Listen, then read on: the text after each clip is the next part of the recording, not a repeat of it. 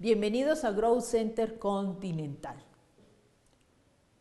Desarrollaremos la sesión número 6 del curso Herramientas de Creatividad.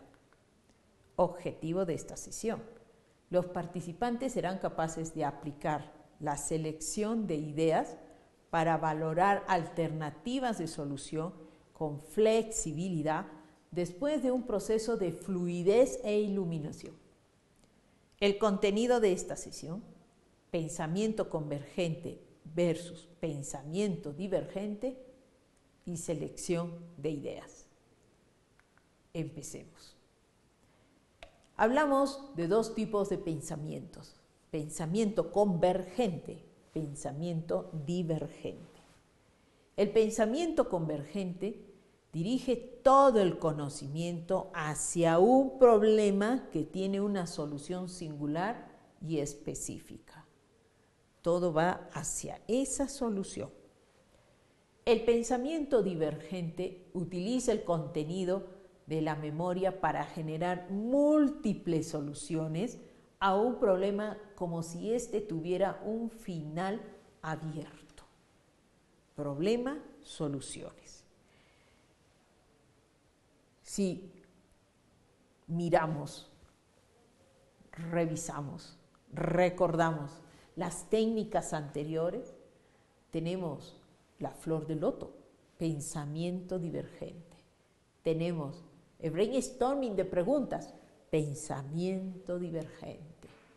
Tenemos prefijo, pensamiento divergente. ¿Eh? Preguntas creativas, pensamiento divergente. What if? ¿Qué sería what if?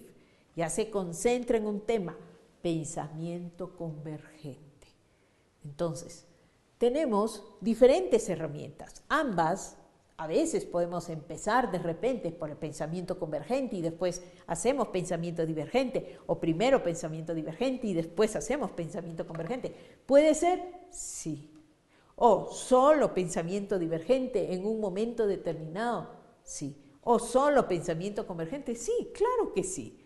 Todo está en función al propósito, al objetivo, a la visión o a la misión que tienes sobre un momento en un tema determinado. El pensamiento convergente es lógico, es racional, pero a veces dicen poco creativo pero se suma con el pensamiento divergente, se ayuda con el pensamiento divergente, porque el pensamiento divergente es creativo original, pero poco dado a la lógica. Entonces allí se suma.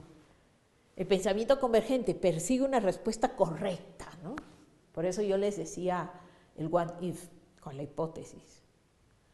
El pensamiento divergente no busca una respuesta correcta, sino que traza un camino hacia nuevas soluciones. Ahí está, brainstorming, ¿cierto? O de repente también flor de loto. O también podemos hablar las preguntas creativas. O la técnica de prefijo también. ¿Eh? Valora la calidad, el pensamiento convergente valora la calidad de las ideas por encima de la cantidad. Y en cuanto al pensamiento divergente, valora la cantidad de ideas originales y tiene la multiplicidad como un valor. El pensamiento convergente se orienta hacia la definición, la planificación y lo concreto. El pensamiento divergente se orienta hacia lo abstracto, lo indeterminado, la incertidumbre. El pensamiento convergente se atiene a lo establecido. El pensamiento divergente cambia el marco de referencia. Hibridación, pensamiento divergente, por ejemplo.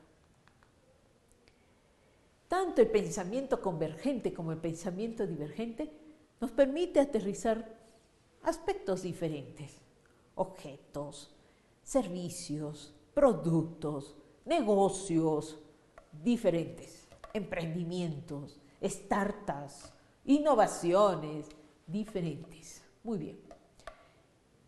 En ese proceso divergente generamos diferentes ideas, 100 ideas, 20 ideas, 30 ideas, ya, muy bien. ¿Cómo las vamos a seleccionar? ¿Cómo vamos a darles valor? ¿Cómo elegimos la mejor? ¿Cómo nos quedamos con las cinco o con las tres mejores? ¿O con las más atractivas? ¿O con las más ideales? ¿Cómo hacemos? Hay técnicas, como por ejemplo las que se presentan en la pantalla. Técnicas que nos ayudan a priorizar ideas. In-out es una. Tres votos por persona. 100 euros para repetir. La votación de Fibonacci o valoración por criterios. Son formas de priorizar ideas, formas sencillas que de 20, de 100 ideas, ¿cómo nos quedamos con dos, con tres, con cuatro o con cinco? ¿Cómo hacemos? Podemos usar alguna de estas técnicas. ¿Cómo podemos seleccionar ideas? La selección de ideas es un proceso que nos ayuda a visualizar todas nuestras ideas en base a los valores que más nos interesen en el proyecto. Se trata de filtrar ideas con el fin de quedarnos con una parte para poder desarrollarla. Lack propone que para la selección de ideas se puedan utilizar los criterios viabilidad y deseabilidad. ¿Es viable o no es viable esta idea? ¿Lo quieren o no quieren esta idea? y puedes hacerlo en un marco, como se ve en la figura de la pantalla, una propuesta de Dothin Lab, en donde se ve en el eje de las X la viabilidad. ¿Qué tan viable es? Pero también qué tan deseable es en el eje de las Y. Y podemos ubicar las ideas, podemos ubicarlas y podemos decir al final, bueno, me quedo con estas o me quedo con otras. Y, puede ser viabilidad y deseabilidad. O puede ser tiempo y costo. También. También. Puedes usar dos variables diferentes que te permitan ubicar las ideas para poderlas priorizar, para poderlas seleccionar. La selección de ideas es un proceso de votación de ideas para selección y filtrado de aquella otra idea a construir. Entonces verán ustedes en la imagen que, se ve en la pantalla, en donde tienen círculos, en donde ven aspa y donde ven triángulo, ¿cierto? Entonces, ¿cuál es el procedimiento que propone Gasca en su libro Designpedia? El procedimiento. Tras una sesión grupal de generación de ideas, se procede a filtrar aquella o aquellas con mayor potencial de desarrollo según tres perspectivas que guiarán la votación. Uno, ¿cuál es la idea más innovadora? ¿Cuál es la más innovadora? De todas las ideas, ¿cuál es la más innovadora? Y le colocas un triángulo. A la que sea más innovadora, le colocas un triángulo. Si es un grupo, entonces cada uno de los integrantes, de las 100 o de las 20 ideas, añaden en la, en la idea un triángulo, que quiere decir una idea innovadora, novedosa. Punto 2. La idea más viable, es decir, desde la perspectiva del negocio, es la idea más factible, no solo económicamente, sino también viable tecnológicamente o por tiempo. Por ejemplo, ¿Cómo registramos esa idea viable? La registramos con un círculo.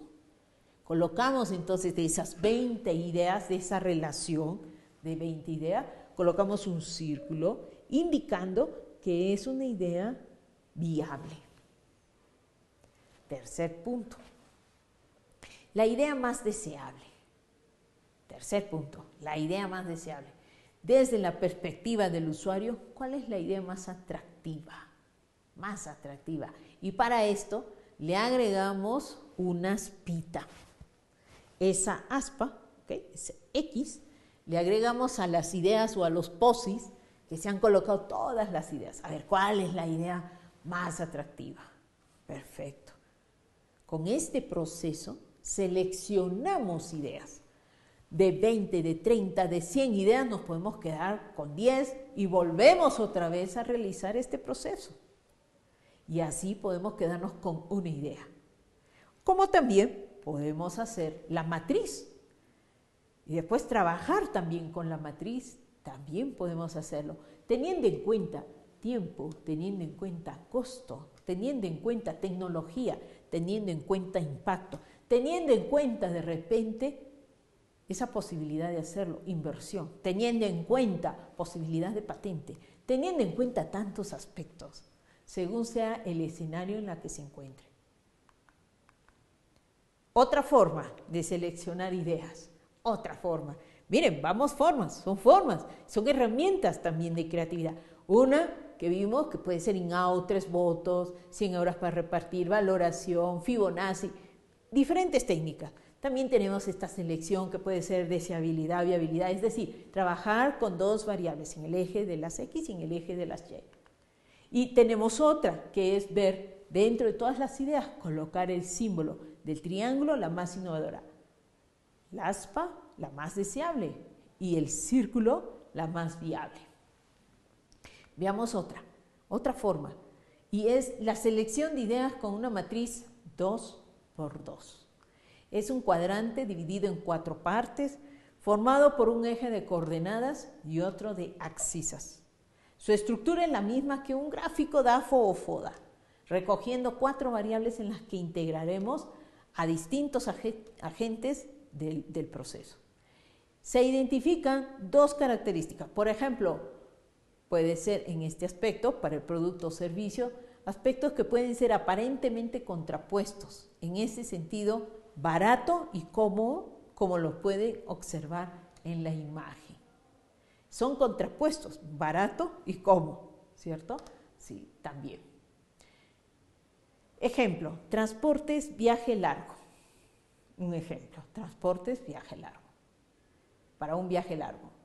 Entonces, ¿cuáles son esas alternativas o ideas? Si observamos en el cuadrante superior, vamos a ver, barato, más barato, menos barato, y tenemos en el eje de las X, vemos más cómodo y menos cómodo, ¿cierto? En el cuadrante entre más barato y más cómodo, para un viaje largo tenemos un coche compartido. Para el cuadrante más barato y menos cómodo tenemos una moto, un autobús, una bicicleta. Pero también tenemos, también tenemos menos barato y menos cómodo como un barco. Y también tenemos en el siguiente cuadrante menos barato y más cómodo que encontramos otras opciones como también el tren, como también encontramos avión. Otra forma de seleccionar ideas, otra forma de seleccionar ideas, donde tenemos la matriz 2 por 2. Aquí tenemos que seleccionamos con características, la que sea más innovadora, la más deseable o la más viable. Y aquí tenemos que seleccionamos, pero solamente con dos variables, diferentes técnicas. Veamos cómo lo aplicamos. Veamos cómo lo aplicamos. Un ejemplo de, algunos ejercicios desarrollados por nuestros estudiantes. Entonces tenemos aquí, ¿ok? Primer punto, primer paso, 18 ideas de negocio presentas 18 ideas de negocio. Fluidez, divergencia, divergencia, pensamiento divergente. Después de estas 18, de esas 18, ¿de acuerdo? Te vas a quedar ahora con aquellas que son la más innovadora, la más viable y la más deseable. De esas 18 ideas, ahora las ubicas. Y las ubicas justamente entre la más innovadora, la más viable y la más deseable, en el segundo paso. Tercer paso, seleccionan las que están dentro y fuera de tu alcance. Es decir, fuera de tu alcance, que no los puedes hacer. De esas que ya has ubicado, ¿cuáles son las que están fuera de tu alcance? Y aquellas que están dentro de tu alcance. De esas 18 que ya has ubicado, innovadora, viable y deseable, ¿cuáles son las que están dentro de tu alcance? Es decir, lo vas a poder hacer en el tiempo, en el menor tiempo posible. Aplicas Fibonacci, es decir, el valor 1, 2, 3, 5, 8, 13, 21, aplicas un valor de menor a mayor importancia. Entonces puedes tener 21 al mayor valor o importancia y 1 al menor valor. Y le asignas un peso a cada una de estas ideas. Y al final, ¿cuál gana? La que tiene mayor valor. Como en este caso, que es asesoría jurídica en línea, que es el menor valor, y se puede observar restobar temático con el valor 21.